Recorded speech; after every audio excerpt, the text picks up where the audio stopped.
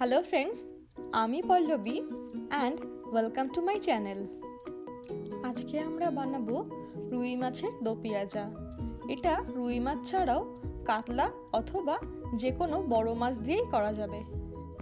এই রেসিপিটা একটা খুবই সহজ আর চটজলদি রেসিপি তাহলে আসুন শুরু করা যাক। এখানে আমি সাতটা রুই মাছের পিস নিয়েছি। আর নিয়েছি একটা মিডিয়াম সাইজের কুচনো পেঁয়াজ আর টমেটো। এরপর লাগছে three tablespoon ginger garlic paste আমি হাফ পেঁয়াজকে গ্রেট করে নিয়েছি। আর লাগছে কুচিয়ে রাখা ধনে পাতা। এখন একটা বাটিতে নিয়ে নিচ্ছি হাফ টেবিল স্পুন ধনে গুঁড়ো হাফ টেবিল স্পুন হলুদ গুঁড়ো আর হাফ টিস্পুন লঙ্কা গুঁড়ো। হাফ টিস্পুন রসুন গুঁড়ো। এটা অপশনাল আপনি স্কিপ করতে পারেন। সাথে নিচ্ছি স্বাদ মতো নুন। এখন সব কিছুকে খুব ভালো করে মিশিয়ে একটা মিক্সচার তৈরি করে নেব। আমি এই মশলার মিক্সচার থেকে হাফ টেবিল স্পুন মিক্সচার এখানে স্প্রিঙ্কেল করে দিচ্ছি। এখন হাত দিয়ে মাছগুলোকে ভালো করে ম্যারিনেট করে রাখব। ম্যারিনেট করা হয়ে গেলে মাছগুলোকে মোটামুটি পাঁচ থেকে সাত মিনিটের জন্য রেখে দিতে হবে। একটা প্যানকে দু মিনিটের জন্য প্রিহিট করে তাতে three tablespoon mustard oil দিয়ে দিচ্ছি। তেলটা ভালো মতো গরম হয়ে গেলে তাতে একে একে মাছগুলোকে দিয়ে দিতে হবে। তেল গরম হওয়ার আগে মাছ দিলে মাছ কিন্তু পাত্রে লেগে যায়। হিটটা এই সময় মিডিয়ামে রাখব। আর একে একে মাছগুলোকে উল্টে পাল্টে সব দিক খুব ভালো করে ভেজে নেব। পাঁচ থেকে ছ মিনিট এভাবে ভেজে নেওয়ার পরে মাছগুলোকে তেল থেকে আস্তে আস্তে উঠিয়ে রাখব। একটু খেয়াল রাখবেন যেন সাইডগুলো ভেঙে না যায়। এখন ওই তেলেই দিয়ে দিচ্ছি কুচিয়ে রাখা পেঁয়াজ।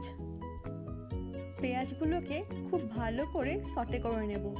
যতক্ষণ না এটা গোল্ডেন ব্রাউন হয়ে যাচ্ছে। পেঁয়াজটা ফ্রাই করতে প্রায় দু থেকে তিন মিনিট টাইম লাগবে। এখন এর মধ্যেই দিয়ে দেব গ্রেট করে রাখা পেঁয়াজটা। আর সাথেই দিয়ে দিচ্ছি জিঞ্জার গার্লিক পেস্টটা আদা, রসুন আর পেঁয়াজ বাটাটা খুব ভালো করে কষিয়ে নিতে হবে। যখন মশলাটা ভালো করে কষিয়ে এসে তার থেকে অল্প অল্প তেল বেরোতে শুরু করবে, আমরা এখানে হাফ কাপ গরম জল অ্যাড করে দেব। গরম জল দিলে বাটা মশলাগুলো আর পুড়ে যাওয়ার ভয় থাকবে না। এখন এর মধ্যেই দিয়ে দিচ্ছি আগে থেকে মিশিয়ে রাখা মশলাগুলো। এবার সব কিছু খুব ভালো করে কষিয়ে নেব। ওভেনের ফ্লেমটা অবশ্যই এখন মিডিয়াম থেকে মিডিয়াম লোতে রাখতে হবে। মশলা কষে এসে তেল বেরোতে শুরু করলে অ্যাড করে দিচ্ছি কুচিয়ে রাখা টমাটোগুলো। এখন টমাটোগুলোকে খুব ভালো করে মশলার সঙ্গে মিশিয়ে নেব। আর যতক্ষণ টমেটোটা পুরো গলে যাচ্ছে, ততক্ষণ এটাকে রান্না হতে দিতে হবে। এরপর এর মধ্যে এক থেকে দেড় কাপ গরম জল অ্যাড করে দেব। আর দু মিনিট খুব ভালো করে এটাকে ফুটিয়ে নেব। ঝোলটা ফুটে এলে এর মধ্যে অ্যাড করছি আগে থেকে ভেজে রাখা মাছগুলো। মাছ অ্যাড করার সময় ফ্লেমটাকে মিডিয়াম লোতে করে নেবেন, তাহলে হাতে কোনো হিট লাগবে না আর মাছ ভেঙে যাওয়ার চান্স থাকবে না। এখন একটা খুন্তি দিয়ে আস্তে আস্তে প্রেশার দিয়ে মাছগুলোকে ভালো করে ঝোলের মধ্যে ঢুকিয়ে দিচ্ছি, যাতে মাছের মধ্যে ঝোলটা ঢুকতে পারে। এখন কাভার করে দেব পাঁচ থেকে সাত মিনিটের জন্য। পাঁচ থেকে সাত মিনিট পরে কাভার তুলে দেখতে পাচ্ছি ঝোলটা অলরেডি ফুটতে শুরু করেছে। এর মধ্যে এখন কুচিয়ে রাখা ধনে পাতা আর কাঁচা লঙ্কাটা অ্যাড করে দিচ্ছি। সব কিছু একবার খুব ভালো করে মিশিয়ে নেব। এরপর ফ্লেমটা অফ করে পাঁচ থেকে সাত মিনিটের জন্য এটাকে ঢাকনা দিয়ে রেখে দিতে হবে। পাঁচ থেকে সাত মিনিট পরে দেখতে পাচ্ছি আমাদের কারির রঙটা চেঞ্জ হয়ে গেছে।